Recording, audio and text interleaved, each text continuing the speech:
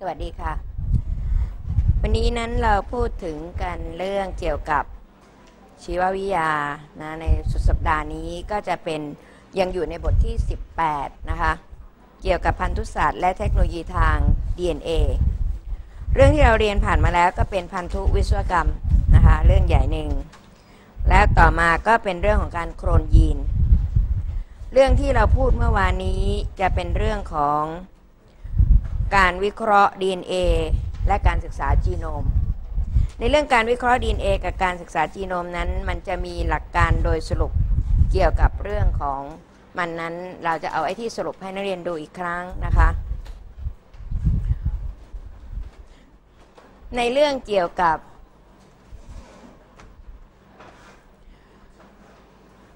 การใช้เทคนิคนะคะ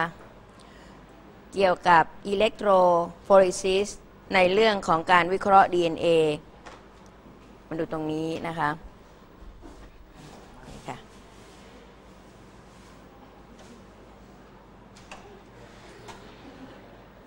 อันนี้นั้นเป็นเรื่องที่เราจะดูการวิเคราะห์ DNA นั้นเราจะต้องมาแยกขนาดของ DNA ว่าเป็นอย่างไรนะคะ ขนาดของ DNA มันแตกต่างกัน ก็ใช้เทคนิคเจลอิเล็กโทรโฟริซิสนั้นมาแยกโดยมีหลักการโดยสรุปดังนี้นะคะสำหรับอันที่หนึ่งก็คือ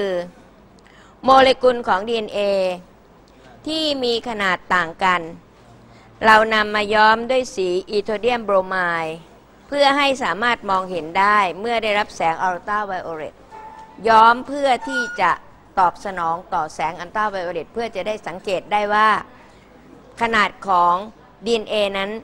มีขนาดเล็กขนาดใหญ่แค่ไหนนะคะ นั่นเป็นกรรมวิธีแรกที่เขาพูดถึง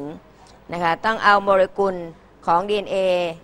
ที่ได้มาโดยวิธีการทำไงคะ โมเลกุลอันนี้ใช้ส่วนของการตัด นะหมายถึงว่าขนาดของ DNA ที่ได้มาแล้วนั้นนะคะคำกรณีนี้เราต้องอาศัยพื้นฐานโดยการแยกในลักษณะที่ต้องใช้สนามไฟฟ้าที่เขาพูดถึง จากนั้นนำมาแยกขนาดภายใต้สนามไฟฟ้าโดยให้ DNA ผ่านตัวกลางที่เป็นแผ่นวุ้นนะคะตัวกลางที่เป็นแผ่นวุ้นที่เขาเอ่ยถึงอันนี้ก็คืออะการอสเจลแต่ความจริงอาจจะใช้สารตัวอื่นก็ได้นะคะ DNA ปกติจะมีประจุลวบวกแล้วถ้ามีประจุลบ จะเคลื่อนที่เข้าหาขั้วบวก อันนี้ก็เป็นการประจุตรงกันข้ามต้องเข้าหากันอยู่แล้วนะคะหมายถึงคุณสมบัติของ DNA นั้นจะเป็นประจุบวกขอโทษครูพูดผิดอยู่เลยนะเป็นประจุลบ แล้วก็สำหรับเครื่องมือนี้จะมีขั้วบวกอยู่ เพื่อที่จะล่อให้ประจุลบของ DNA นั้นนะคะวิ่งเข้าหาและถัดไปนะคะ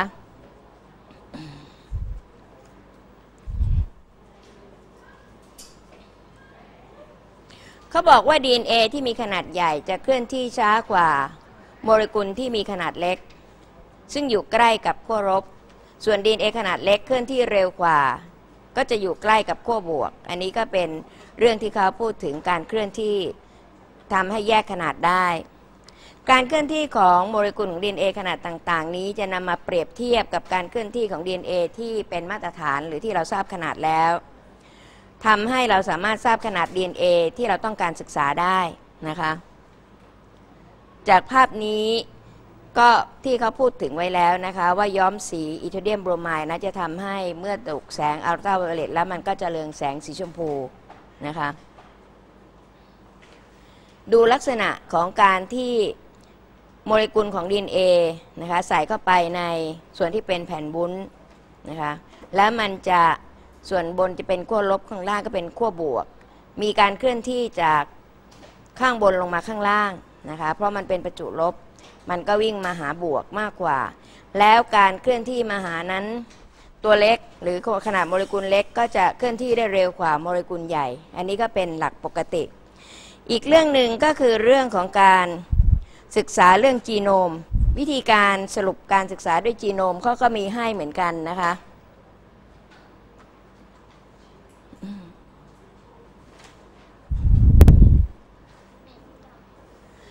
วิธีการนั้นเขาบอกว่าตัด DNA ของจีโนมของสิ่งมีชีวิตด้วยเอนไซม์ตัดจำเพาะนะคะ จากนั้นก็แยกขนาด DNA ที่ได้จากการตัดด้วยเทคนิค Gen Electrophoresis เหมือนเมื่อกี้นี้ เทคนิคว่างั้นว่าไง จนกระทั่งได้รูปแบบของแถบ DNA ที่ขนาดไม่เท่ากันออกมา ความแตกต่างดังกล่าวนะคะของรูปแบบของแถบ DNA นั้นเขาเรียกว่า RFLP ชื่อเต็มว่ายังไงก็กลับไปดู ซึ่งใช้เป็นเครื่องหมายทางพันธุกรรม เพื่อตรวจสอบความแตกต่างของ DNA ของจีโนม ของสิ่งมีชีวิตนั้นๆได้ นั่นเป็นเรื่องที่ทบทวนเมื่อวันนี้ที่เราพูดกันนี้เรามาดูวันนี้นะคะดูจากสไลด์ว่าเราจะพูดถึงเรื่องอะไรกันบ้างจากสไลด์นะคะ